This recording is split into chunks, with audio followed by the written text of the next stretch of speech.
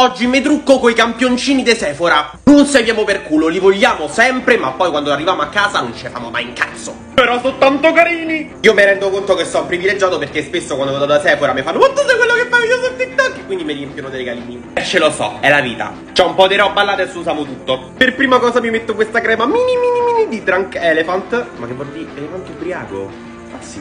Idratiamoci un attimo. Come base utilizzo la CC Cream di Herborian. Con tutti questi prodotti mini mi sento che ho le mani ciccione. Scusate regà, volevo fare un'opera d'arte. Cioè quasi mi dispiace levarmelo. Per le sopracciglia utilizziamo il famoso Gimme Brow di Benefit. Cioè il Gimme Brow dei puff in pratica. Sa ma che pizzino! Come pronter e blush utilizziamo sti due fogli. Cioè si prendono letteralmente così. Cioè non ci credo. Cioè scrivono pure, guardate il blush. Rossettino di Givenchy. E guardate quanto è bello il pack. Oddio. E infine mini mascara. Troppo carino. Fine, seguimi sui G.